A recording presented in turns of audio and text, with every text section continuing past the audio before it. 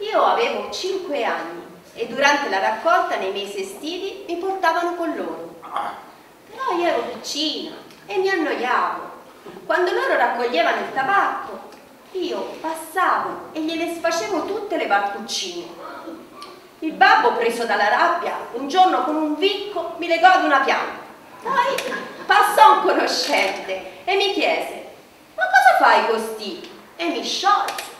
Racconti classici e racconti autobiografici per socializzare, sensibilizzare alla lettura e mantenere vive le memorie del passato. È questo il senso dell'iniziativa promossa dalla Casa di Riposo Fossombroni, la Casa Pia, che ha strutturato un ciclo di incontri mensili insieme all'Associazione Donne di Carta di Arezzo. Il progetto è molto ambizioso, ringraziamo infatti a nome anche di tutto il Consiglio di amministrazione, del direttore e l'Associazione Donne di Carta perché sta dando l'opportunità ai nostri ospiti di ascoltare mensilmente dei classici ad alta voce, ma soprattutto di raccontarsi e di raccogliere le loro memorie.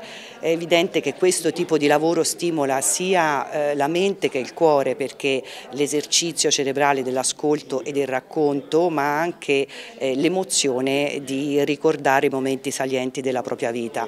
Quindi noi abbiamo sempre impostato l'azienda proprio con queste iniziative di modo che eh, sia non solo mh, diciamo, reso più eh, accogliente e più mm, piacevole loro, eh, dire, la, loro, la, loro, permanenza ecco, presso l'istituto, ma sia anche uno stimolo, uno stimolo a mantenere viva sempre eh, un'attività cerebrale, l'emotività e la compagnia sotto tutti i punti di vista.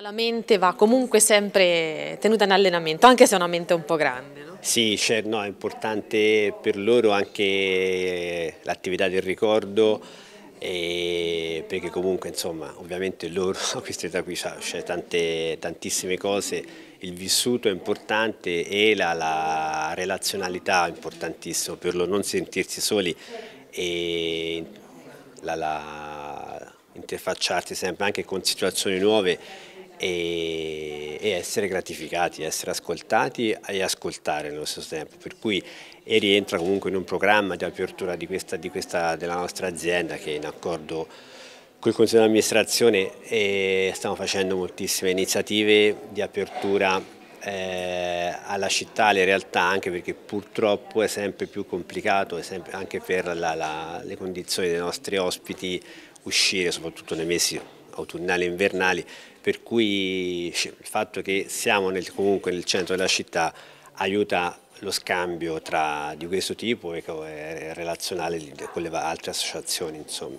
Questa esperienza con l'Istituto Fossombroni è importante per noi perché eh, le persone che sono qui sono portatori di memoria eh, e ehm, riteniamo necessario valorizzare certe realtà perché tutte le persone sono importanti eh, e perché ci teniamo anche a, eh, diciamo, a dar voce a tutti, anche a, a, portare quello che noi possiamo dare e a ricevere da queste persone in una stimolazione diciamo, reciproca.